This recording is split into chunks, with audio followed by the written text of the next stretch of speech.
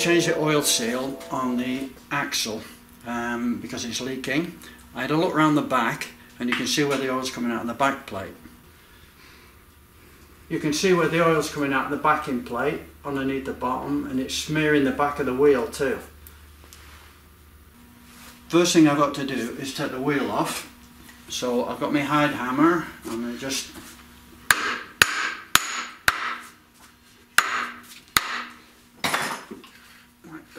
off here.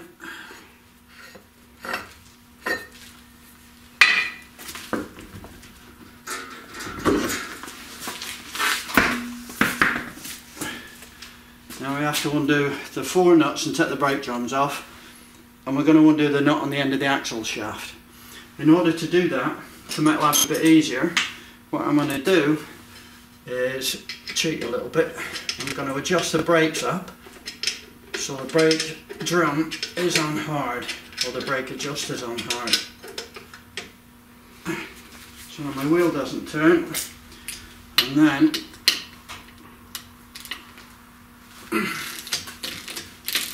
I can undo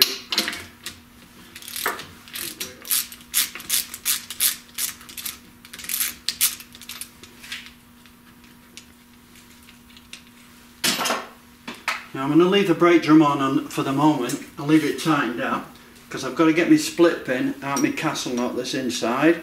So I'm just going to straighten up my kingpin on the back, uh, the pin on the back and get it in so that I can just move it out. This is the most fiddly part of the whole job actually.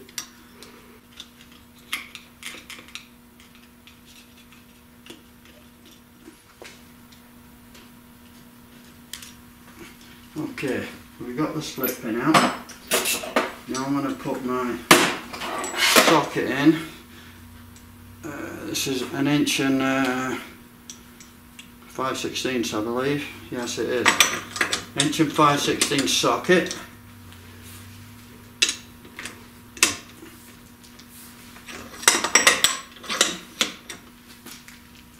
there we go. Now I just I got the nut off.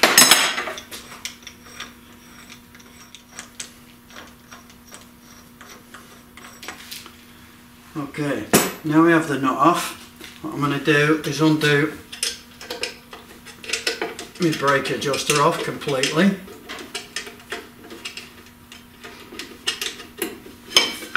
So it's turning really, really easy.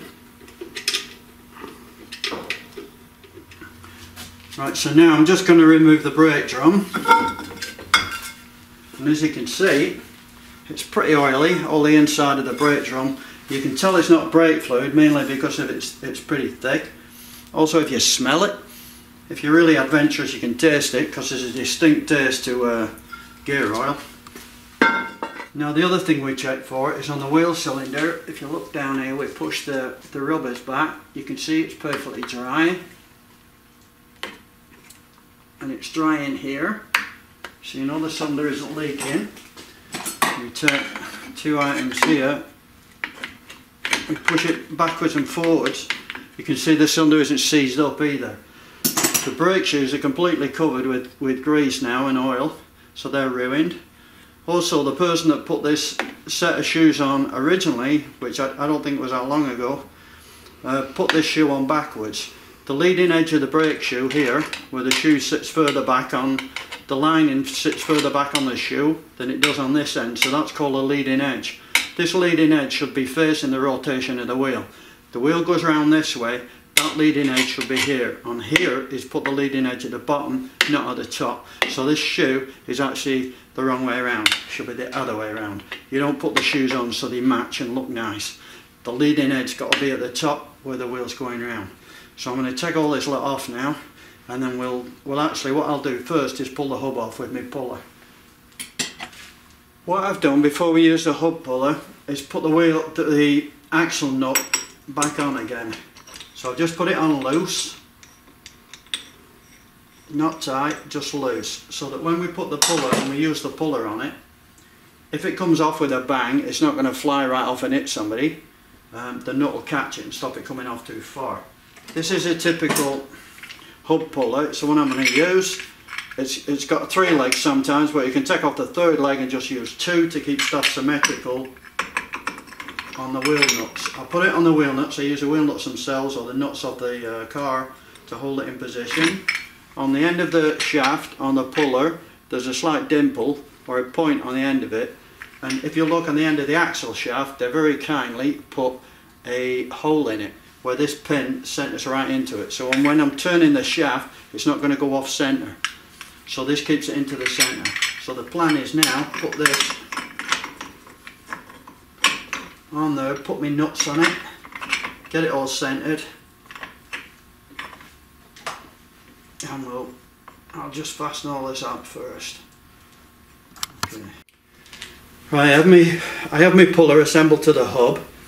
So now I have my little thing that goes on the end. And I just turn it on the hub. And if it gets really tight, I can bash the end of this with my hammer. Tighten it out. But as it happens, it's, it's come off already. I figured this would be fairly loose, mainly because I'm up against a nut now, but mainly because I've got so much oil and I had oil along uh, the, the, the, back of the plate. I got so much oil this was loose, so this thing wasn't exactly tight. Which, turn the nut right off. Then you'll notice this will slide off. So we've got the complete piece off. Now, now you can see the axles exposed. You can see our oil seal. So what, what I want to do, instead of removing all the rest of the uh, hub assembly or the bearing assembly, what I'm going to do is try and get the oil seal out without doing that. So first thing I need to do is this uh, collar that runs on the inside. What I'm going to do is just see if I can get this to come out, which I can there's slots in it so that when the hub is against it, it pushes on the slot and it tightens this piece on the shaft. So it's part of the keeping the hub central um, and tightening it on because of the slots. Well, if you push the screwdriver in the slot and just turn it, you can slide it out. Now, I'll be able to get a screwdriver behind the back of there a lot easier. But what I'm going to do is take all the brake shoes and everything else off before I do that. First thing I'm going to do is undo my uh, brake, brake shoe returner here, retainer.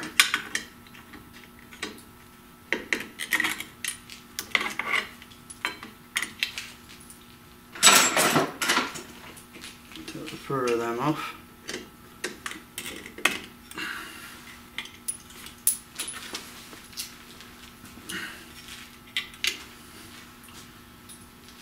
Next bit I'm just gonna pull my brake shoe out here and cut for my spring and on the bottom I'm going to push this spring.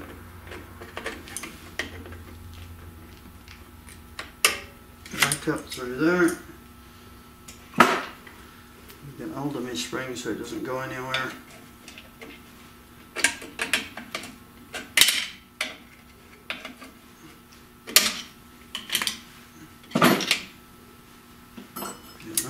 there.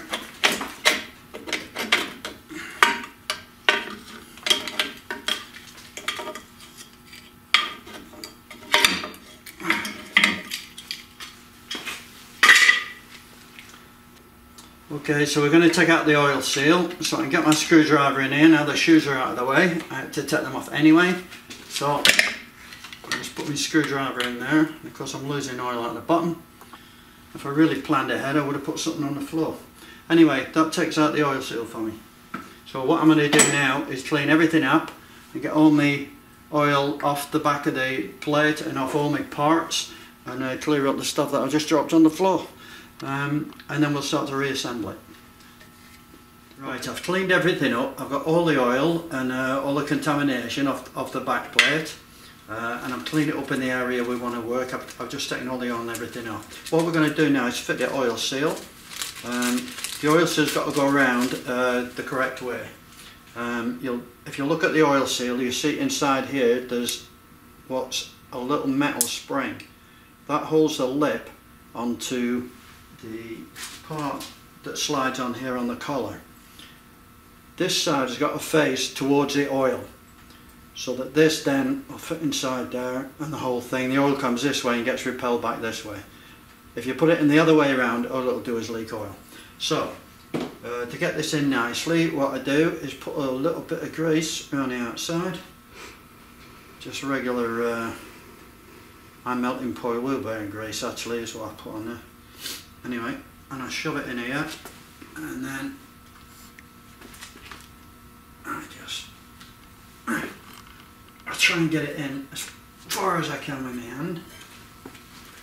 And then I take my little eye down with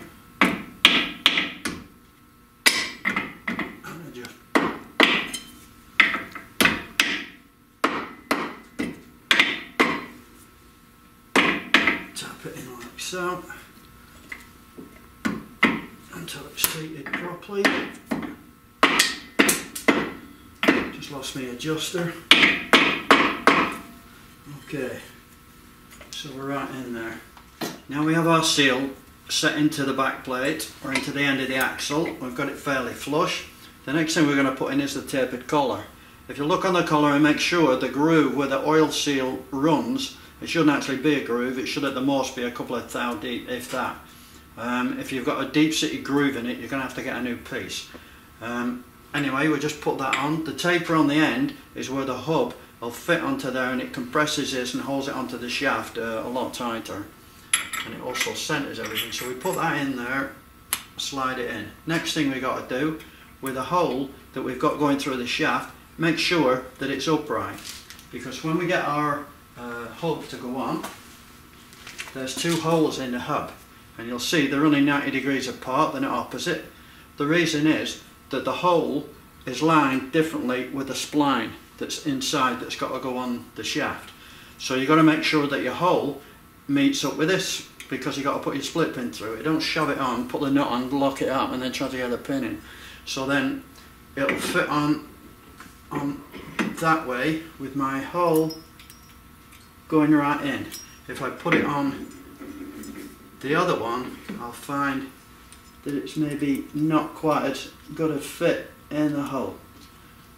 It's just off a bit, so I'm going to put that on there. The next thing I've got to go in is the taper, a split collar that goes on the outside with the taper so that this hub now will fit onto the shaft with um, get compressed and it will be centered by the tapers and it'll be held onto the uh, shaft.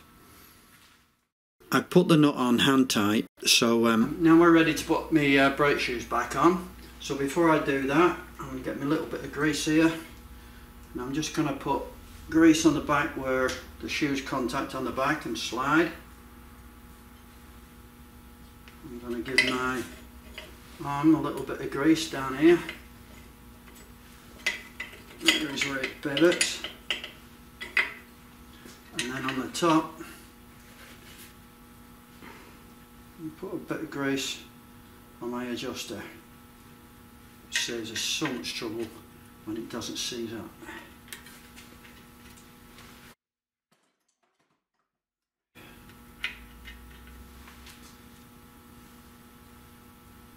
just put a layer of grease on it.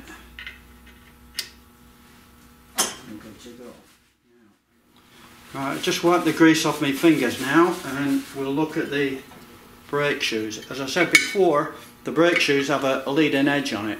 You can see on the end of the two shoes when they're together, this is a leading edge and this is the back end of it. So we need the leading edge to be facing the rotation of the wheel. So as the wheel goes around this way, we put our leading edge on there and this leading edge on the bottom. So the shoes have to go like this, not like that. They go this way around okay with the leading edge on each one so that's what we'll do. We're going to set the springs up first and then I'll stick it on. Right I have my springs set into place. So now I'm just going to put this on here.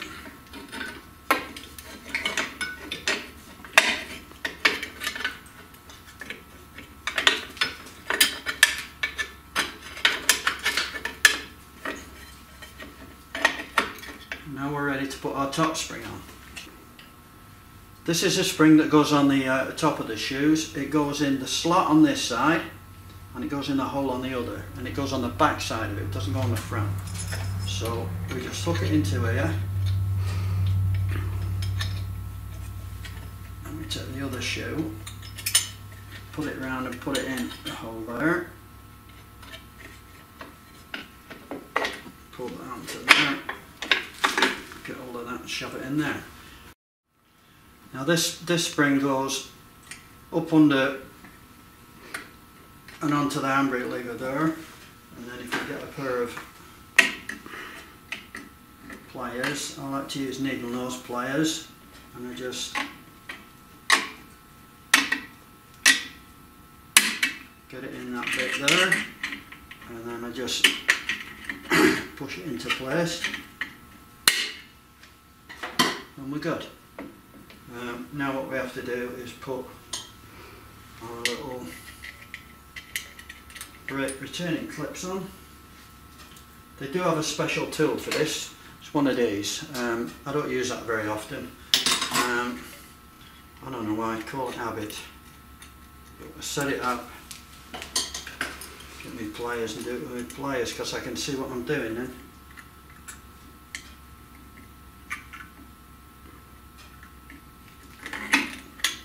We do the other one on the other side and we put our drum on. So now all that's left is to fit our brake drum. I've cleaned all the inside of it, all the oil and everything obviously. So just got to fit that. So just a bit.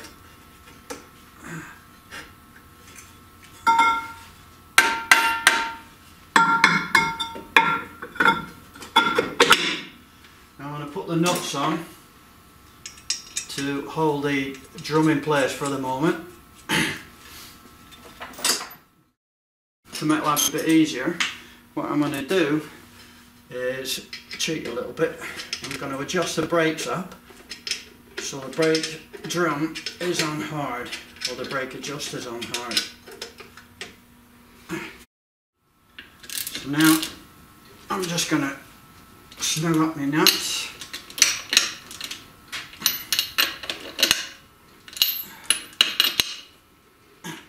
Now the main one we have to knot in here. The torque setting on this is 150 pounds, which is pretty good going. So,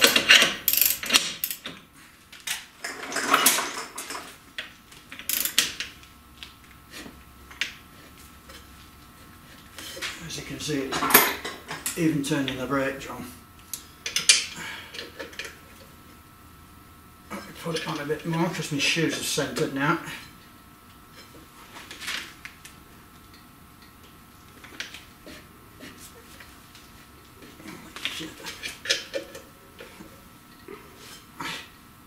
This is tight. There we go. So what we to do now, of course, is put our split pin in. And it lines up with the old Miracle. If it doesn't, we'd have to go a bit further. Uh, we don't go back, we go forward with it. Sometimes it's a bit hard when you got that much on. As you can see, it even pulls against the brake drum. Anyway, I'm going to fit my uh, split pin in and then we're going to top up or make sure that we've got the right amount of oil in the differential and we're going to check the uh, breather on top of the differential and make sure that that's clear. Because if it isn't it'll build up pressure inside and pull the oil out again push the oil out in the seals so basically that's how you do it. Replacing the oil seal in the axle. Um, also I forgot to mention of course uh, it's pretty obvious um, you have to adjust the uh, back brake drum because we've got it locked up solid. So we let it back and then adjust our uh, brake adjuster to get our brakes work properly. So that is actually all. Okay thanks Thank you.